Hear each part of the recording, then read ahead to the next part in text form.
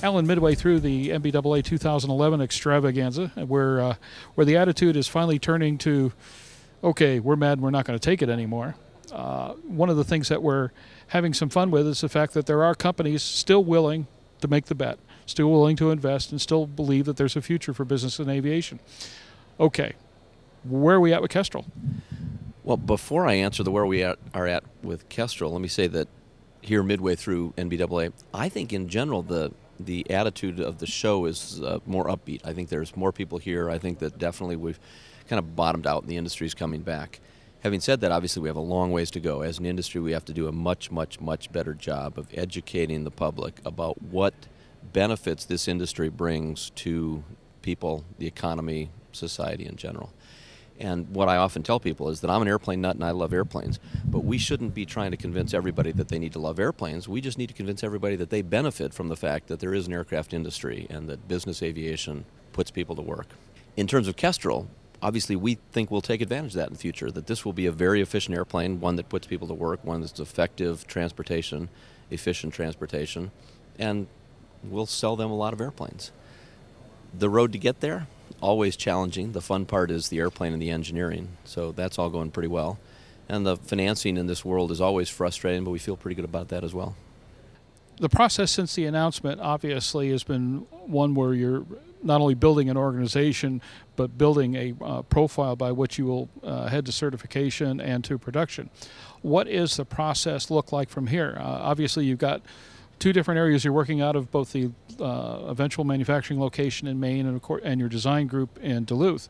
But where does it go from here? What does it look like? Yeah. Well, part of the reason we chose this project, the Kestrel, which was originally Farnborough Aircraft, is because so much work had been done. And so we now have an engineering group in Duluth, an engineering group in Maine, working to modify the design and do the certification work and the production work. Still reasonably early in that. We've got a fuselage design that we like. We're narrowing down on the wing. We've selected the Honeywell engine. So those things are all coming along pretty well. But there's obviously a lot of work to do still from an engineering and certification point of view. From a production point of view, we've got the facility in Maine.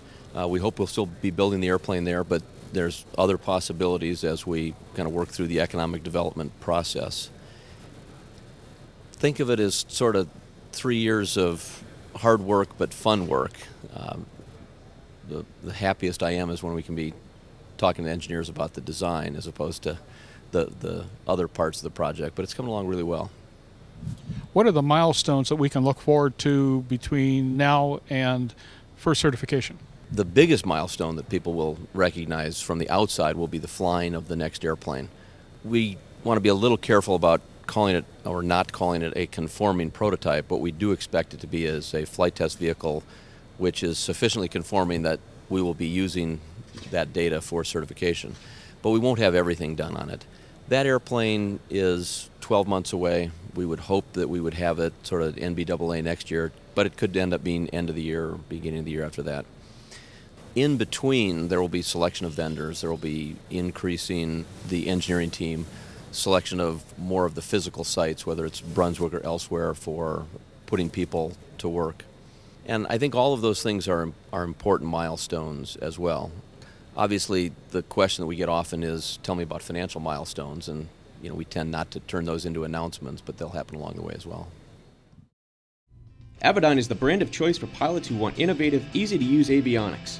And the new IFD 540 GPS Navcom sets a new standard for simplicity in communication and LPV navigation. As a slide-in replacement for existing 530 series navigators, and with a highly intuitive touchscreen control, the IFD 540 makes it much easier to access the information you want when you want it, reducing head down time and making flying more enjoyable. Finally, you have a choice, and the choice is easy Avidyne.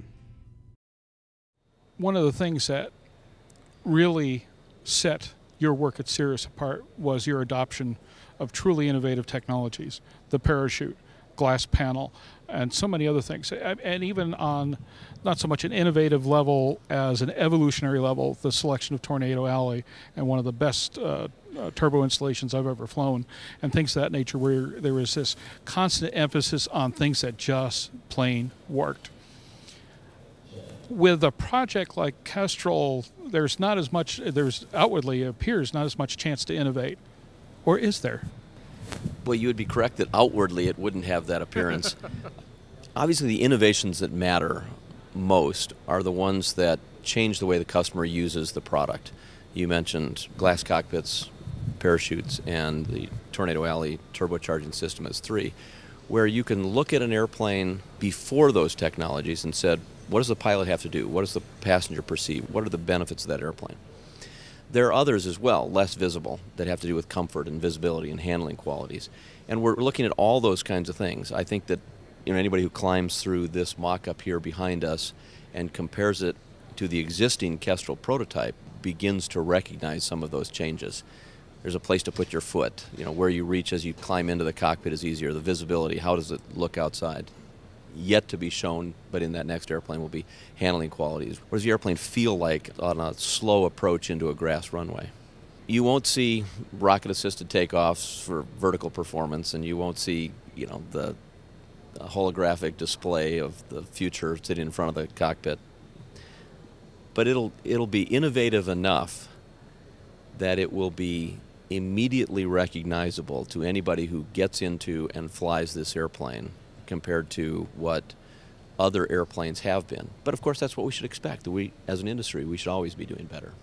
How much of Kestrel is going to be bet on the concept that these things are meant to be used by owner pilots? Well, all, almost everything will be bet on that. Obviously, the kind of objective standards how fast does it fly, how much weight does it carry, what kind of distance we think we will be very, very competitive at. That's essential for the owner flown market, it's essential for growing the market, but I would argue it's also important for the professionally flown market. When we look at accidents and try and figure out what were the cause of the accidents, we all know that the typical accident is pilot error. Well, one way that you improve pilot error statistics are with better training. Another way is to take away whatever it was that caused the accident. You know, you, you don't have a knob to turn, you can't turn it wrong. so, you know, we're very focused on simplifying the airplane. That's a, that is avionics, that's engine management, that is handling qualities, that's visibility. Again, I mentioned earlier, uh, how does the airplane feel on a slow approach into a grass runway? that doesn't come down to what do the numbers say the airplane will do. The numbers are determined, you know, by a test pilot. What I care about is how comfortable is it for any pilot to fly that slow approach into a short runway. How is the team forming right now behind the Kestrel project? Yeah, I've been very fortunate to work with a lot of great people and very fortunate to have a lot of those same people working with us on Kestrel. So yeah, this is an experienced team that's done Cirrus airplanes and other airplanes as well. So that helps from a purely project point of view. But more importantly, in terms of the culture of the team, it's just fantastic. We have a very flat organization, a great working relationship. We argue, we throw ideas back and forth. Um, I give people my strong opinions and then let them convince me that it ought to be something else if they can convince me, and, and, and they have on a number of occasions. so it, it's really been a, a, a great team. The learning experience to get to this point has a lot to do with organizational structure and those things as well. So, you know, we intend on keeping that a key focus of the company. We're going to keep this company operating a certain way and refuse to allow it to turn into other types of organizations. If all goes as planned with Kestrel, what's your next move? Where do you logically take both your experience and background in association with everything you've seen in this industry and what you think it needs? Where do you go from here? As I said at the beginning of this, I really have a huge faith in the value of general aviation and what it can do for everybody outside of the industry. And because of that, I think this is a growth industry. Stuck in our current situation, a lot of people don't see it that way, but I do. And in a growth industry, obviously, you will look for other ways of responding to that market.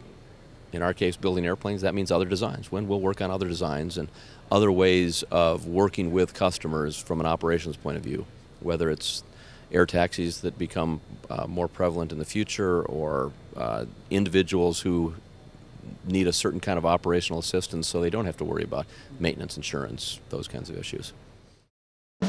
Welcome to the Aero News Network, the aviation world's most comprehensive news and information resource. Real time 24 7 online audio and video programming, where aviation has been getting updated for over a decade. Distributing over 11,000 stories, features, audio, and video programs every year.